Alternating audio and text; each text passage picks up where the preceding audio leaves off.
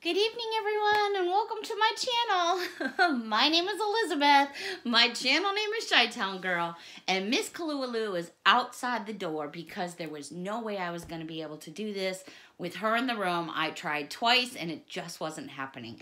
Unfortunately, this isn't the best location to film this type of a video, but it's the best that I can do for right now because the other two things I wanted to film tonight I'm unable to because I am missing a key component to what I need to finish these two projects, so I'm not going to be able to share them with you this evening. However, what I would like to share with you is every single thing that you see here is Dollar Tree. What I would like to do is build a basket for Grandpa. Grandpa loves chocolate, any kind of chocolate. Um, so what we're gonna do is we're not gonna make it real fancy fancy because Grandpa is almost 80 years old. He does have a hard time seeing sometimes. And to be quite honest, this is just a little something something um, just to let him know that obviously I'm thinking about him. I'm pre-making it ahead of time because if I don't do it now while I have the time, it's not going to get done. And a lot of you had asked about how I build some of my baskets. So I have to say on a scale from 1 to 10, this would be considered something on the smallest level that I would make, okay? So I'm just going to be kind of like in and out with my footsies and things here. So basically what you're going to need is you're going to need a pair of scissors. Pick out any kind of tissue paper that you want. You're going to need some ribbons or bows, any kind you want. Again, everything I have here is from Dollar Tree. You're then going to want to get your stuff or fluff, however you want to call it, decorative shred. Um, it's called all different kinds of things. I got red. You're going to want to get, if you want to seal your basket, there's two ways you can seal it. You can seal it with just a cellophane bag and a bow, or you can do it with a cellophane bag that you use a hair dryer, which I have right here. And yes, of course, it's purple. Did you think I wouldn't have a purple hair dryer? um, so that kind of shrink wraps it and keeps it more fresh. So that's what I have here from Dollar Tree as well. It comes with one bag and it comes with the bow. Then this container was from Dollar Tree as well. It's simple, you know, it didn't have anything like, you know, it's for grandpa. So we didn't, you know, I didn't want to have like I love yous and stuff like that. It's just my way of saying, you know, thanks for doing what you do and I love you. This now is an assortment of sweets and treats and everything here is from Dollar Tree. So I have some of the Whitman's chocolates, the truffles. Um, Grandpa loves this chocolate, so that's why we're going so chocolate here. Um, a couple packs of um, Valentine's in chocolate, some chocolate Flipz pretzels. We have three of the Russell Stover caramels from Dollar Tree. I have some of the Russell Stover itty bitty hearts. The list just goes on. Some Haribo, uh, some truffles, some Tootsie Roll dots, and some, which I took out of the package because I didn't want to give them the whole bag, some of the Chiclets. All right, so I'm going to push all of that away, and I know you're all going, oh my gosh. But for Grandpa, probably about two weeks. okay, so the first thing that I do, now some of these are optional. You don't have to put that much in. You could put more if you wanted to. There's lots of different ways that you can do this, but I'm just sharing with you my techniques that I feel work good for me, okay? So the first thing I do is I get my container and then I open up my shrink wrap. Now, this is what the packaging looks like from Dollar Tree. It's hung up by all the, you know, bags and stuff like that. When you take the bag out, the bag is huge. As you can see, it's just huge. It is so paper thin, you just have to be really careful. The bag is going to be really, uh, the best word, it's just so full of static. So when you open it, open it slowly. Because if you get a rip in it, it's going to be a pain in the you-know-what. to fix it with the hair dryer. So as you can see, this is a really big bag. Now, I don't have that big of a basket. So since I already know that I don't need this much plastic, I can go ahead and trim it right now. And that's only because I do these a lot. So I'm going to already shorten the plastic. I'm not taking off a ton. And you could reuse this on something else or whatever you choose to do. So then I reopen my bag again. And then what I do is I usually will go very slowly because this is where the ripping starts. I just slowly slide my arm in here and I just try to get a little bit of air because it is going to be so full of static. And I've only learned from doing it wrong several times, so I'm just trying to share with all of you. So as I open it, I kind of go around and turn it over a little bit to try to just spread it out some. Now, you do not have to do this right off the bat. It's optional. I do this because I like to take my container, put it into the plastic bag, get it centered. I'm sorry, I know there's a lot of noise. Um, but I like to get my container center in the middle of the bag. So I'm going to do that first. It doesn't have to be exact, but as you can see, it's pretty much in the middle of that bag, plastic to plastic, okay? So once I get it right where I want it, I then will roll the bag around the container that I'm using, whether it's a plastic, whatever container that you're using.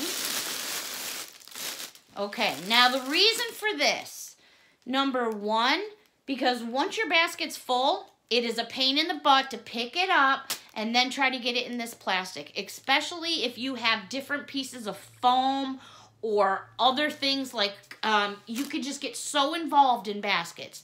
They become very heavy.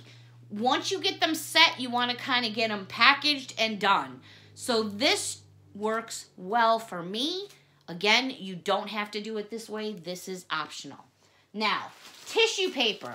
It's optional as well. What I do is I just get a piece of decorative tissue paper. This is optional. You don't have to do it. You can start tossing your goodies right in the bin. This is just me and what I do. I take my tissue paper, I turn it the opposite way and lay it over the bin. And then I just kind of take my fists and put it in there slowly because if you go wham, it's all going to rip. And just, it, there's no perfect way. Just put it in there nicely. You're going to have a little bit of overage. That's okay. Just put your paper in there as nice as you can. And I really wish I had a shot above so you could see in. Unfortunately, my stand that I have, I'm needing to replace. Um, I need to get one that I can, you know, hang up over what I'm doing. But I'll show you by going like this. So what I've done is I've lined my tissue paper inside my container. Now, this is optional as well, too. I'm just all about presentation, and this is how I roll. I get some of my decorative shred. This is from Dollar Tree. And I have red. And I'm just going to pour some of that in there. Now, a lot of times when you get baskets, you'll get either wads of paper or shred or a bunch of styrofoam. And then they pile the pieces on top to make it look fuller. That's fine. But I want it to be full of the stuff that I want Grandpa to have. So I'm not going to use a bunch of shred. I have a half a bag, and it was exactly a half that was left over from the last time I used one. So it's a half a bag of this shred for this container. All right, now I'm just going to fold the tissue down here because we're going to fix that later. Again, I wish I had an overhead shot, but I'm going to show you kind of what I'm doing. So I'm to assess the pieces that I have right now get an idea because you want your bigger pieces more towards the back as you can start to build. Now, I'm looking and I'm saying to myself, what do I have that I could build up the basket a little bit more where I could have some stability? And the first thing that comes to my mind here is this package of dots because you know, it's got a nice square and it's heavy. And by putting it in this container, I'm going to allow this container to lift up on the inside a little. And let me show you what I'm talking about. So there's the container. I'm going to put the dots in like this. So now what I've done is I've kind of built up the inside of the box a little bit. And I can use this as a good base to build up items higher. I don't have to do this. I'm just choosing to do this. So that's where I'm starting with my dots. Now I have some fairly tall pieces because I got Grandpa some of these Russell Stovers. And I actually got three of those for him. And I think what I'm going to do is put one right in the back of the dots. I know, I wish, I really wish I could do this better for you. But I think you're going to get the idea of where I'm coming from here. So I'm going to put that package of, of uh, caramels. I'm actually going to put it up this way so you can see the heart and you can actually see that it says Russell Stovers. Let me move it back and maybe that'll help a little. And then I'm actually going to do another one here and another one here. So I've basically just put three in the back, okay? So now you see we're already starting to build that basket. And you can change it up if you want. You kind of want to get your pieces so they're not going to move too much because that's the whole point of doing a basket is so you can see your pieces without a lot of movement. Okay, so here's what I have so far. Now I have some Haribo snacks and that's kind of like a thick packaging. So, in fact, I think I'm actually going to put that, I'm going to kind of do something a little different. I'm going to put the Haribo in the back behind that dots. And then I've built up already my packaging a little bit more. Do you see how much higher that came up already? And then put my Haribo here. And then I'm going to put another Russell Stover right back there again. So the same thing I had before, I just added one more item behind there to build it up a little, okay? So let me see what else I have here. Hopefully you guys can see what's going on just to get the general idea. Ooh, I have this big package of Flipz. So we're to put that right there. And then I'm gonna need something, I'm gonna need something to hold that up. So I think we're gonna go with this big package here. And now we're gonna need some kind of support or else that's gonna go like that. So let me see what I have here that I can support it with. Let me move what I've got over here. Sorry for reaching around here. You guys are all getting to reach around. All right. So, let's see. I promise next time I do this, I'll have the camera up. Um, but I will give you a visual from above. So we're going to go with this. And then there's this big box of truffles. So I think what we'll do is we're going to take that and we're going to kind of put it on a diagonal. And actually, maybe this will work. Let me go. Ooh, look at that. I'm getting kind of fancy. So here we go. We have those Russell Stovers. There's another package right there that I'll pull up a little better. And then we have one here. The dots are down there in the bottom. Then we have this big package of Flipz, then this package of hearts, and then the truffles. So I'm going to put you back down here for a second. Again, I've never done a video like this, so, you know, it's my first time. Bear with me. I'm doing the best I can. Alrighty. Continuing on. I have some of these Happy Valentine's Day Whitman's chocolates. So I think what I'm going to do is something like this. I'd actually like Grandpa to be able to see Snoopy. So what we're going to do is this. Okay, and then we're going to put the truffles right there. And I'm just to turn this towards me for just one moment so I can just make sure I'm getting everything centered. But I promise I'll share with you more. But you're at least getting the idea of what's going on here. Let me just adjust this because when I turned it, I actually moved the whole center of the packaging.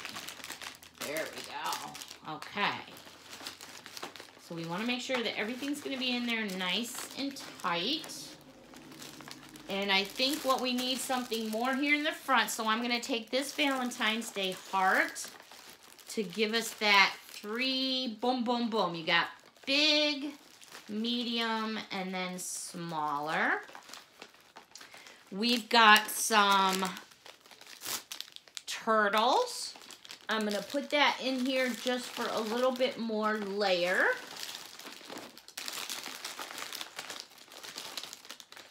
Okay, we'll put that back in. Then our truffles. And then, boy, I'd like to receive this basket. And again, this is all Dollar Tree. So we can add it up at the end here and see what we've got. All right. I think what's happening is because I'm sitting on a bed, it's moving. So everywhere I'm putting everything, it's kind of moving. I have some of these itty bitty hearts from Russell Stover's. We're going to put those into, let's put another one back here to make it fit a little tighter. And you always go back in after you've put everything in and you're to rearrange it. So right now, it's kind of looking, let me pick it up again and show you. It's looking like that. All right, I'm to put it back down here. Bear with me. All right, so these were those cyclics I opened up. So I'm just to put a few of these in here and there, just for fillers. You know, you don't have to, optional. Um, I would normally probably put lollipops, but I know Grandpa doesn't eat those. Um, I would probably put some hearts. Those hearts that um, that are on the sticks, I'd probably put some of those in there as well. But like I said, you know, this being for Grandpa, you know, I'm going to what he likes, okay? Once you have all your items in there, and then you want to take your tissue paper and kind of tuck what's hanging out in because that's also going to give you some more support. So let me just do this and I'll be right back with you. I'm going to stay here, but I'm going to keep my mouth closed for a second. You guys are probably going, oh, thank God. I just like to explain as much as I can. I'm turning it around here, obviously. We're just tucking everything in. And once we have it tucked in, then you can do your final adjusting. Now, I could have put more material in the bottom, so more items would have come up higher, but I don't think it's necessary to make this super gargantuan. Um, I think there's plenty of chocolates in here. Grandpa's definitely going to take a look at this and be like, oh my goodness. He always gets a big smile on his face when he sees me coming with a basket. Okay, now, a couple things. I'm sorry, that's my footsie. Hello, it's got socks, socky, with hearts. okay, so much for this video. Um, I found one more Chiclet, so let me stick that in there. All right, so basically that is what we're looking at. Now, I don't know. I would love to receive something like that. That's just me, though. Um, to each their own. I'm going to put this back down one more time. And hopefully you guys are going to be able to see what I'm going to do here. I'm going to back it up. So there's your presentation so far. Now, when you get this bag at Dollar Tree, it comes with these bows. The bows are okay. I don't prefer to use them on these bags. You can if you want. They're actually pretty cool if you've never seen one of these bows before. It looks like a big long snake. And at the end, you're going to open up these two flaps and you're going to see these two little strings. Now, this is critical. You want to take this very slow. You don't want to be fast about it. What you're going to do is you're going to take these strings and slowly pull them. And as you're pulling them, Do you see what's happening? I'm going to keep going. I just need to give myself some more room here. You have to pull slowly because if you don't, it's not going to work. Okay, so you're just going to pull both strings out at the same time. And before you know it, you have, after you fan it out a little bit more, here is what you have. You've got a beautiful bow all ready to put on your package with the strings to tie on it. Now, you could use this, and maybe I will. I'll check it out. But usually I tend to use this kind of stuff. All right, so crucial moment. I'm going to take a final look at how I have everything placed. I just want to make sure that, you know, we're looking okay here. You're going to be able to see things. Now, I'm going to take my plastic and bring it up around my box, bag, whatever you're using. This is, again, something that I do. Um, it is not required. I have done a lot of these, and I feel that this is just something that works best for me. I gather my plastic, and I just bring it in as much as I can. You want to bring it all up into a pile. It does not have to be perfect because we're going to be drying this and it's going to shrink to it. Okay, so you want to bring your plastic up. Some people choose to not do what I'm doing right now. What they will do is leave the plastic and then start blow drying it and then close it. I find that when I bring the plastic up and then I get an idea about where I want my bow to be, I tie a piece of string, that piece of ribbon that I just tore out, and I get an idea about the height because your plastic height will stay the same. So I want it to be probably about right there. And I'm going to cinch it tight and I'm just going to close it right off because I will not be going back in this bag to put anything else. Don't worry about this. This is not a big deal right now. Here is what you have. Now, you could give it like this. You just got all this fluff hanging out here. Now, what I'm going to do is I'm going to take my top, and what I do is I like to hold the top like I'm pulling a ponytail while I'm drying it. I put my dryer on low. You never want to get your dryer right up on top of the plastic because it'll burn a hole right through it. But you want to start your hair dryer on low, work from the top down to the bottom because if you have extra, you can always get it dried under here to shrink wrap. If you have extra up here, you'll shrink it so tight you'll end up getting holes in the plastic. Again, just from my experience. Okay, I am now going to turn my hair dryer on so you won't be hearing my mouth and hopefully you can see it dry on screen. So let me get it warmed up here. Let me start it on low first. You want to do it on warm. And some dryers, depending on the heat, you can go to high. Be very careful because if you touch this plastic, you're going to make a hole. So I'm starting on warm and I'm starting on low. Again, I'm holding the top and I'm going to work my way down.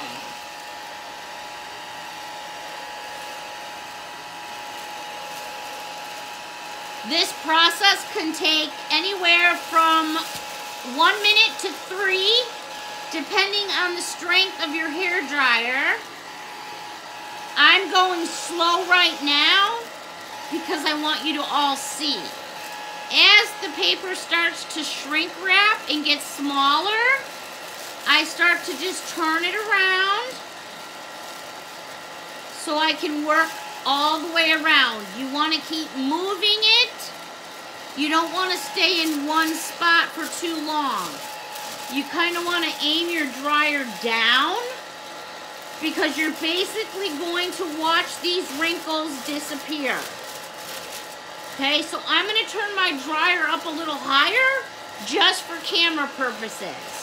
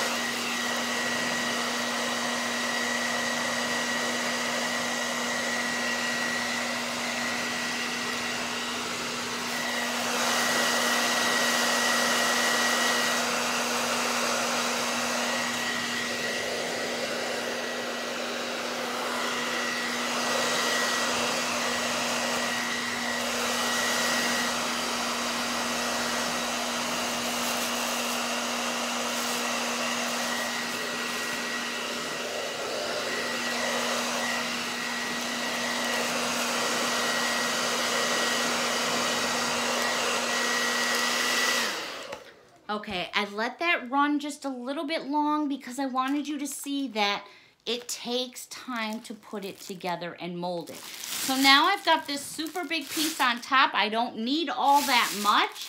I'm to go ahead and just cut some of that off. I'm to fan this out. I'm to grab some of my strings here of my ribbon.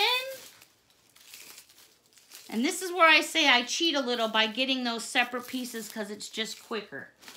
I'm going to tie these around and I'll make this look a little fancier with the ribbon, but I see the video is probably getting a little bit long. So I did want to just give you an idea of voila. Now look at all those treats. This is Dollar Tree. So 1, 2, 3, 4, 5, 6, 7, 8, 9, 10, 11, 12, 13, 14, 15. Under $20. Actually, under $18. I hope Grandpa loves it, and I know he will. Thanks so much. Please let me know what you thought, besides the fact I need to record it in a different way. I hope you enjoyed this. Super simple. Anybody can do this. Thumbs up. Bye for now.